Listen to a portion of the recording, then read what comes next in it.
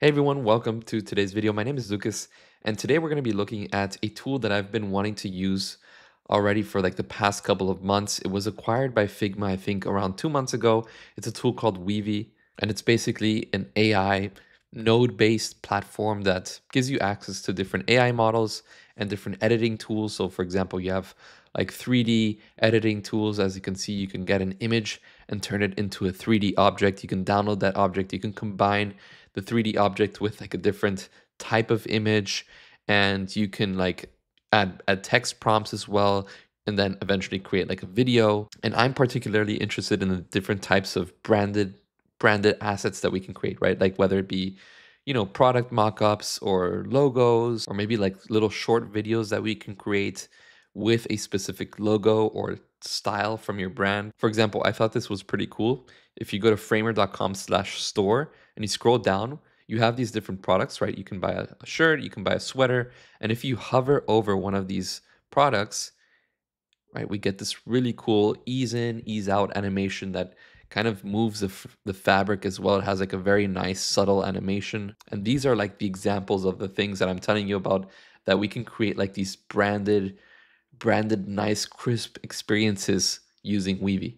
So you get stuff like this, right? With the cap, with the sweater, with the stickers like this. And actually, before we get started, I'd love to invite you guys to my Discord community where a bunch of different startup founders, designers, developers from all around the world, do we get together every single weekday to talk about different tools, topics, challenges. So if you guys are interested in joining these conversations, link to the Discord is down in the description below. Anyways, this is how the starting you know dashboard looks like once you're logged in. You have all of these different workflow workflow libraries and tutorials up here. The tutorials are great actually.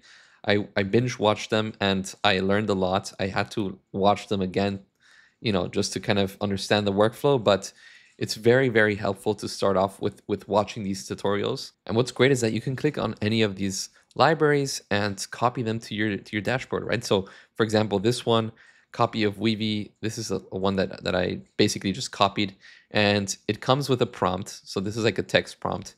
It, it has this file upload so you can upload your own logo. I uploaded Magic Path logo. You can upload like a primary color over here, secondary colors, and then these are like image iterators, which basically is just a group of images. And it all goes through this LLM that basically creates the style of, of this. So this is like one big prompt. So if I were to just click on this and click on show more, you can see the whole thing. And then basically that comes over here and this and this combine into create this. And what you do is you can just select all of this and click on run selected. And once that's done, you can basically see that we have our primary color, which is this yellow color. And then we have all of these different images that it generates. And if I were to, for example, scroll in here, you can see that the logo, you can't really see it from here, but the logo matches the material of this mug.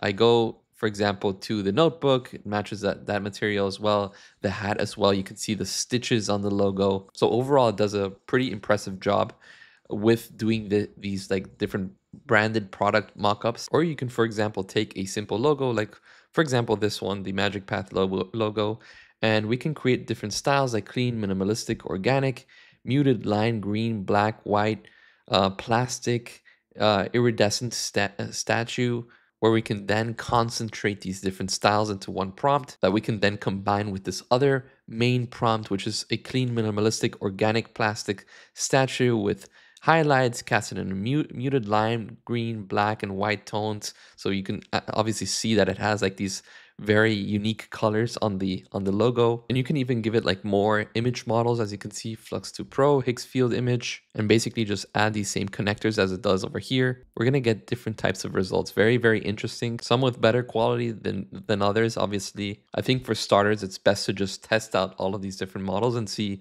which one is your your favorite for your for your need and then we have more complicated workflows where you actually give in the different inputs about your brand. So for example, brand name, um, what is you know your brand all about? What's your target audience? Different colors, an image reference of your product. If you don't have a color palette, you can ask Weavy to create the color palette for you. For example, this is a you know example of based on the inputs that you gave it before of you know what type of business it is, who it's for you can use an LLM to generate a color palette for you using GPT Image 1. Same thing goes with the logo. You can ask it based on that, you know, as you can see over here, you are a logo prompt builder. You receive a brand identity object containing the following fields. So it basically digests the context of this previous prompt flow and understands all of this and creates a logo based off of that. And same thing with product photography. As you can see, you are an award winning commercial photographer renowned for producing brand defining images. Your assignment is to craft one text to image prompt that describes the perfect photograph for the brand materials provided against again referencing these main um, context points that we provided before and then you can provide the real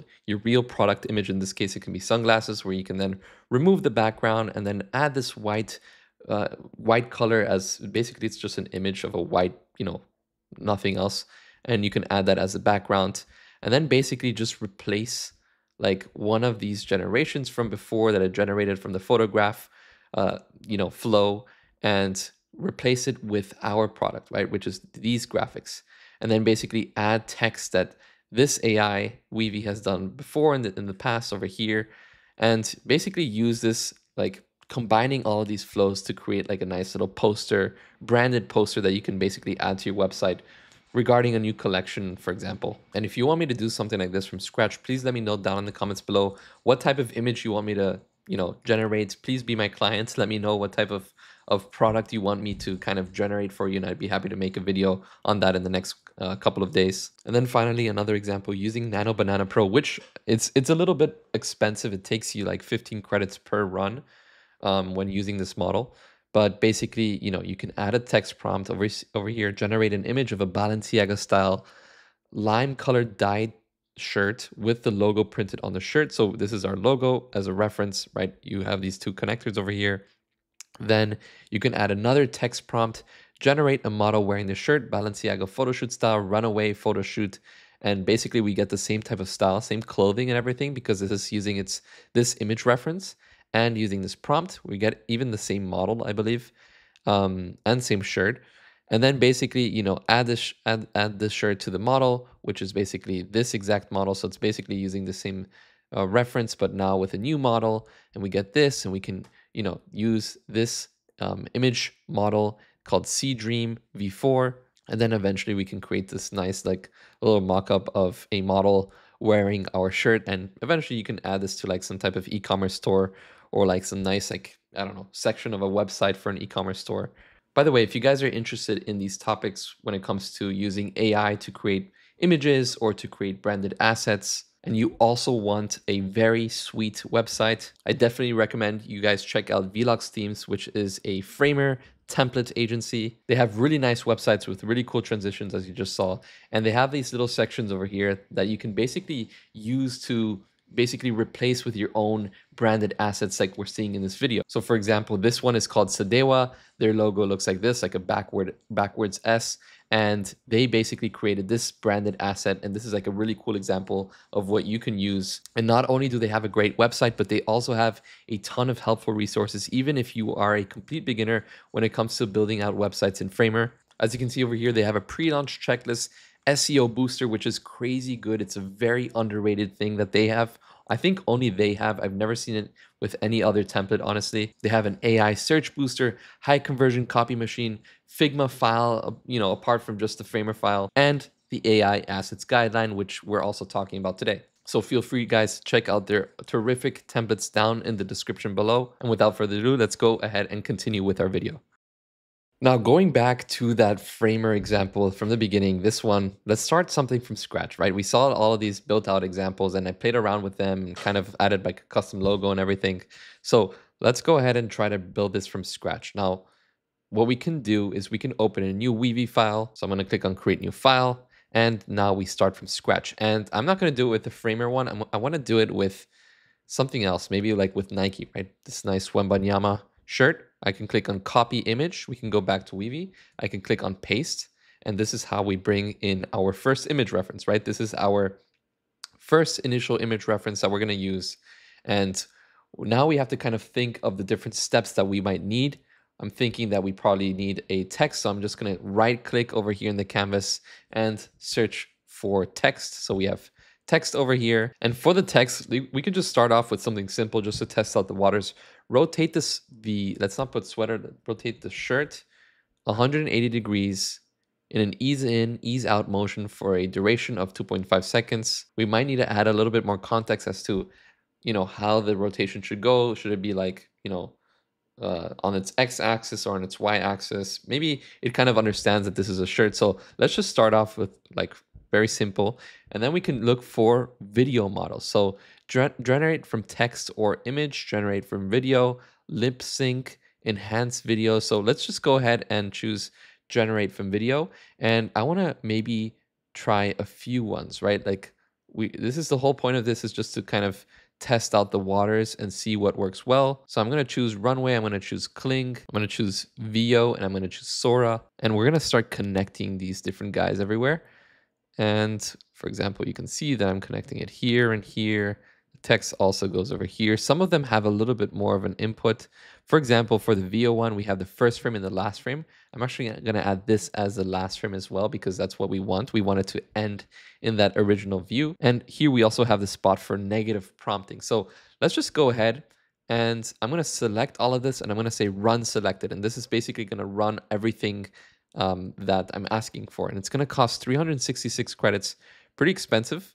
Um, but let's see. Actually, let's delete this first node because it was asking me for in a video URL. Let's just run these. And my goal here is just to kind of see the the different results and, and, and see which one gives us the best results and work off of that, right? Because we're probably going to have to use some uh, additional prompting to refine it. At least that's my guess. So let's see. So this one seems, the aspect ratio seems a bit off. I want to make sure that the aspect ratio is correct. So let's just choose resolution like this, I would say. Let's make it like this, run again. And this one, we also have to kind of uh, fix the aspect ratio over here, resolution 1080p, perfect, run selected. And runway gives us this. It's not, I think the physics are is pretty good, but it's not really understanding. It's kind of hallucinating a bit. As you can see, it turns around and it shows me the front again, and then it shows me the back, and then it shows me the front. So I guess, I guess it works for like the second, um, the last part of it, but not really for the beginning. And we get these results as well. So this one seems pretty good, but it, it stops in the back. I don't know why. Um, I guess it's because we don't really have the, the end frame. That's what I really like about this one. This one also seems pretty good, but I'm going to show you it stops here and then it randomly comes back over here. So it's a little bit weird. Maybe we have to kind of run it again or we have to enhance the prompt a little bit. And maybe I have to just say 360 degrees, not 180. I don't know why I said 180. 360 degrees. Let's go ahead and let's run this one again. I'm very interested in running this one. All right, and finally we get a cool result looking like this. And by the way, I would definitely choose standard. It's gonna take 320 credits, but it does do a great job. So what I want to do now is just download this this content, right? Just download it to my documents. And this is basically how it would look like at the end if you replace it in the Nike website. Obviously a little bit of adjustment having to, uh, needed with with the aspect ratio of this video, but this is like a quick little glimpse. As you can see, when once the video ends, like there's like a nice little um, stop that happens and like the texture of the of the shirt kind of swings a little bit as you can see. But anyways, hope you guys enjoyed today's video. If you all have any questions or anything, just let me know down in the comments below. And like always, thank you so much for watching. Hope to see you next time. Goodbye.